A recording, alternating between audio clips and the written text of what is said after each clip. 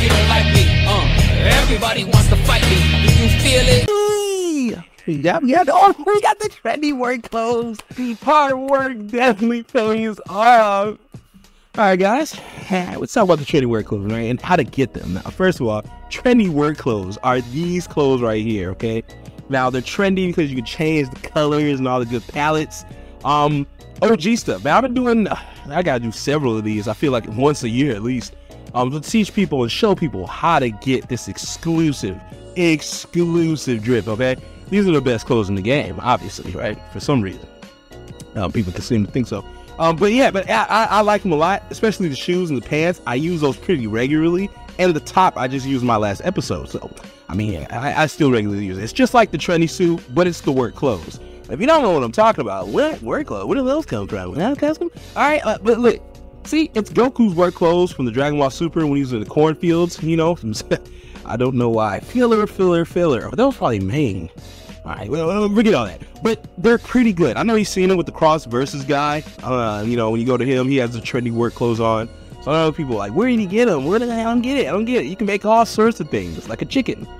Okay, fuck, fuck, you can get your chicken on. All right, Colonel Sanders type stuff with these work exclusives. All right, or um, get your Donkey Kong. right? you can go crazy with Smash Bros. Get your Donkey Kong on. I know a lot of people love Smash. Okay, all right. I, I like Smash too. All right. Um, but I'm gonna show you that again. Now, first of all, you're gonna have to go to Guru's. All right, go to Guru's house. All right. We're gonna go to his place real quick. Now, you don't really have to do nothing with Guru. Not really. If you want to, I suggest doing the nail missions just so. But you're gonna want to go to this Namekian over here who's farming, and you just keep giving him treats and keep going to him with the question mark, and eventually you'll get the clothes as a reward, right? Pretty nice, huh? Pretty, pretty nice. I like that, right? Now, again, now I suggest you just mess around with Nail like every three battles. Keep coming back here, and you know it's take you about an hour or so, and then boom, you'll get them. Okay, you'll get them successfully. Okay, I, I'm not joking. Um, I got this, and it took me 35 minutes.